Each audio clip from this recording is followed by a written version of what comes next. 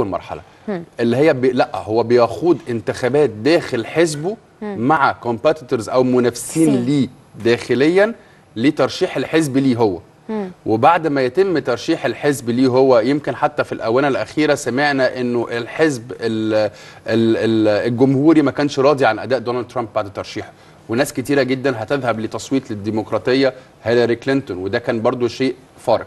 وبالتالي المرحلة اللي بعد كده هي مرحلة المؤتمرات. القومية. بيذهب القوميه بيذهب المرشحين للولايات والولايات الأكثر تاثيرا وهو خمس ولايات هم يعني وجهة نظري أو يمكن يعني الناس كلها بتجمع على ذلك. يمكن كاليفورنيا من كاليفورنيا كاليفورنيا آه. أوهايو آه، نورث كارولاينا آه، شيكاغو آه، آه، في آه، فلوريدا.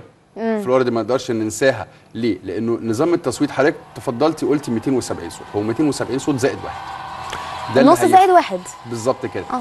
ده اللي فرق مثلا مع جورج جورج دبليو بوش سنة 2000 2000 آه خلاص؟ لأن هو إيه نظام التصويت وفقا لكل ولاية عدد سكان هذه الولاية بتتمثل في نسبة محددة من النواب داخل الكونجرس أيوه. أوكي؟ فلما نيجي نقسمها هنلاقي 270 أو 538 تفرق إزاي؟ بمعنى إنه لو مرشح